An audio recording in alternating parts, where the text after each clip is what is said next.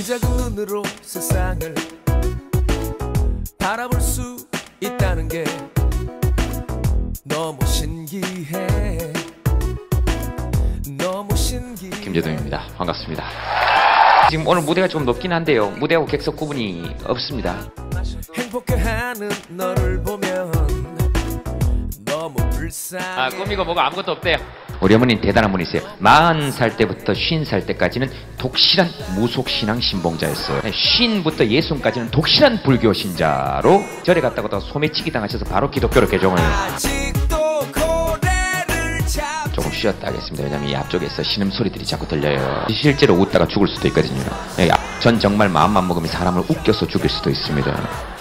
방송에서는 근데 잘 안 돼서 그게 문제죠. 에이, 왜 이러세요? 전문대를 12년 다녔습니다. 올레프 성적표를 3번을 받았어요.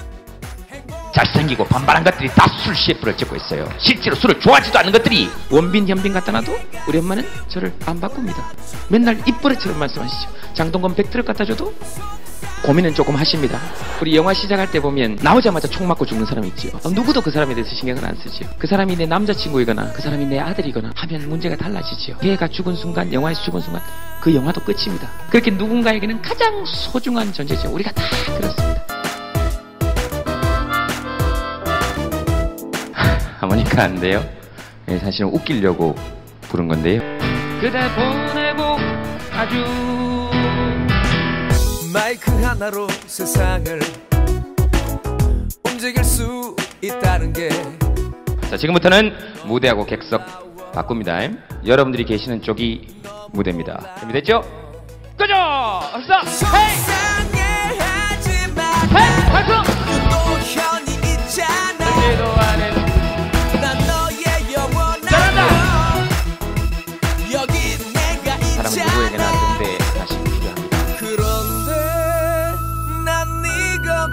할 때 아니야